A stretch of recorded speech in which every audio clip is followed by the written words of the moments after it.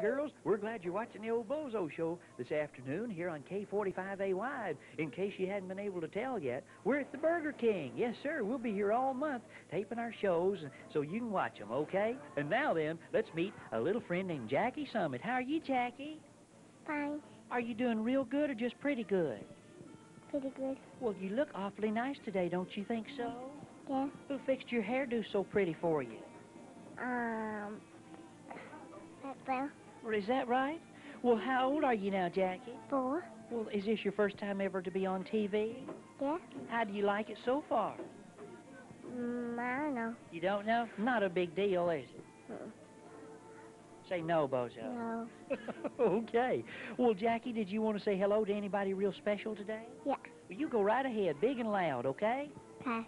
Say hi, everybody. Can you say that? Mhm. Say hi, everybody. There you go. Well, Jackie, thank you for coming to see me now, okay? Say okay, Bozo. Okay, Bozo. Okay, Jackie, you stay right there. And hey, you stay right there too, watching the Bozo Show on K45AY, where we've got another cartoon coming up in just a second.